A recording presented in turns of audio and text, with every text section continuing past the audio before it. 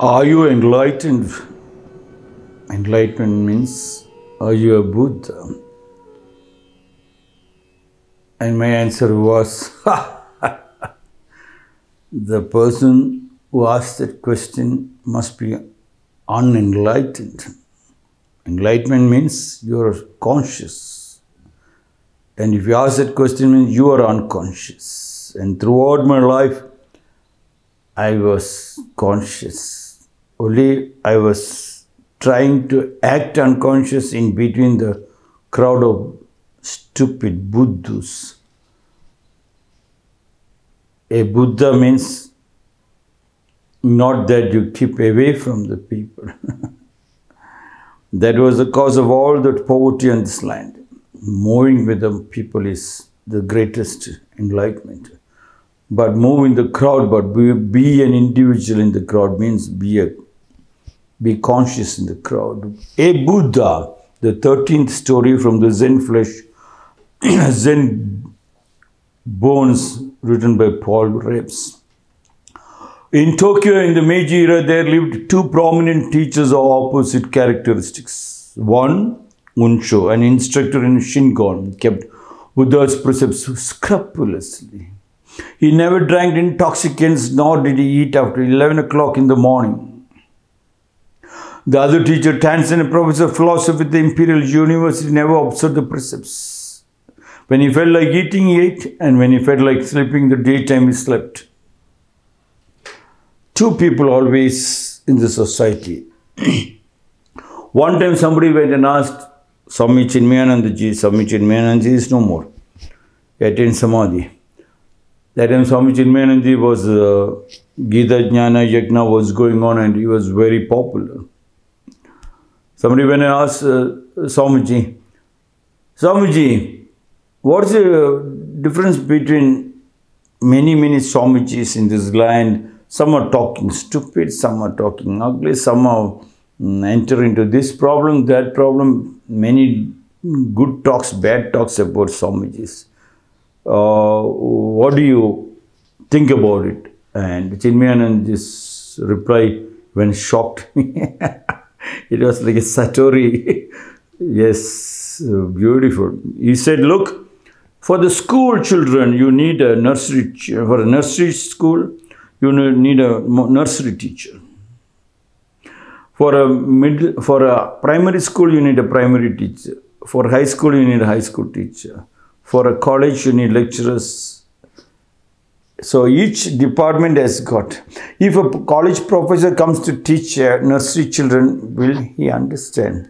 So it depends upon the people. If you are have a mind of a nursery, you go to the nursery teacher. He might be talking the nursery language, and that doesn't mean he's not a Swamiji. He's not a priest. He's not a saint. Each one goes according to the society needs circumstances.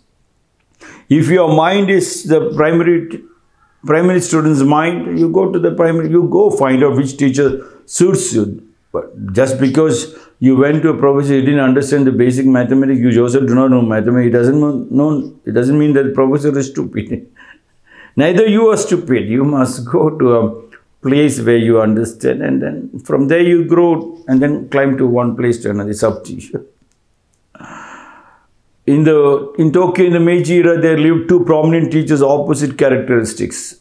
Every every time there were two. Even when the when the girl and the boy marries, they are called husband and wife, and everybody expects one boy and one girl to be born in the family. Sometimes it doesn't happen. Sometimes they get two children, two girl children, two boy children. In spite of that, even if they have two girl children also, you always find two different characteristics. One is aggressive, one is reserved. Yes. so the society yin and the yang has always been balanced, even with the with the teachers also. One Unsho instructor in Shingon Buddha's preserved scrupulously, never drank intoxicant, nor did he eat even after 11 o'clock in the morning. Yes, he kept it. But he was deep rooted. The other was a teacher in the university. Never observed the precepts, he never observed the routine. When he felt like eating, he ate, and when he felt like sleeping, in the daytime, he slept. One day, Unsho visited Tanzan, who was drinking wine at that time, not even a drop of which is supposed to touch the tongue of a Buddhist. Buddhist priests were taught not to touch. Buddhist priests, in the sense, anybody who's in the spiritual line, anybody who's in the literature line, anybody, anybody for that matter, intoxicants is not very good. No, no, no. No, no drinking. But here they use intoxicants means it can be the junk food in the society. Here when, he, when the priest went, he found the professor drinking wine means professor eating food which is not prescribed in the book. Professor has to move with the crowd in the in the society. You must understand. So professor, what he does when he likes to eat, he eat. When he likes to sleep, he sleep. Means whenever whichever group he goes, he becomes be in the crowd, but be an individual in the crowd. So there are always the people of two characters. You cannot say they were bad. Professor was trying to practice but he made sure they kept the books properly. But here they didn't keep the books properly because he was a practitioner. He didn't bother about the books he knew books or bookish languages, but the materialistic world wants books, so there were two people. Mm. Hello, brother Tanzan greeted him. Won't you have a drink? I never drink, exclaimed Unsho solemnly. One who does not drink is not even human, said Tanzan. the professor just wanted to poke the, the priest and asked him, would you like to have a drink? And he said, no, we are put this, we are not even allowed to touch touch it. And he said, if you don't drink, you are not human, means human beings are having a lot of chanchalam. In the sense, uh, the leaders created the chanchala. They broke the family tree, and when it is broken, they're thinking if you bring the, break the family tree, they can have control over a society. So the joint family automatically dissipated, and when the joint family was not, people never thought about the family. Husband have no time for the wife, wife has no time for the husband. Even if they have time, they have no time to talk about love. They only have time to talk nonsense about money and money and money. One who does not drink is not even human times. And do you mean to call me inhuman just because I do not indulge in intoxicating liquids? exclaimed Unsho in anger. Then if I am not human, what am I? Buddha answered.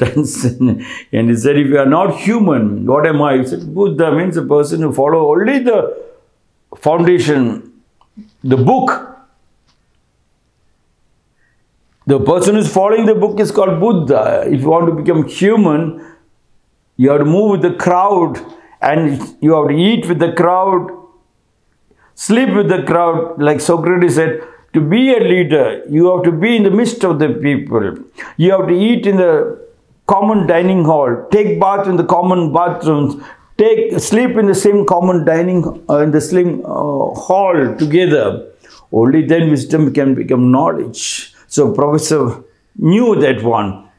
And on one side, one person is 100% following, that is good for the temple because temple priest doesn't mix with the crowd. They are disconnected from the crowd. Hence, most of the temples, churches and is crashed.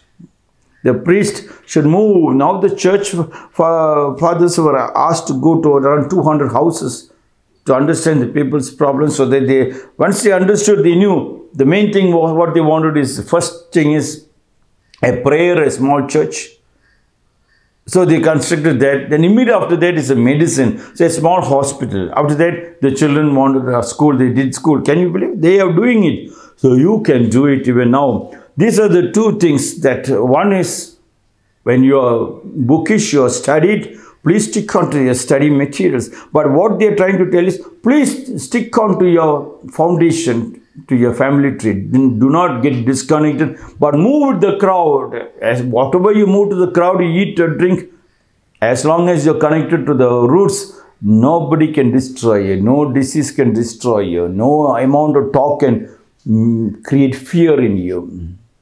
Please hold on to your yoga shastras, practice samskriti, and then you go anywhere, anywhere. Yes, nobody can touch you. Connecting you to the base creates, makes you a Buddha, an enlightened being. Yes, enlightened being is becoming conscious about your culture, your foundation, and the culture of the external world. That culture also is not bad. The moment you say this and that, right or wrong, you are in trouble. That is also good. But if they are unconscious, you be conscious. You don't even have to change them. You be conscious, and the way you talk, they slowly fall in line because they have no control.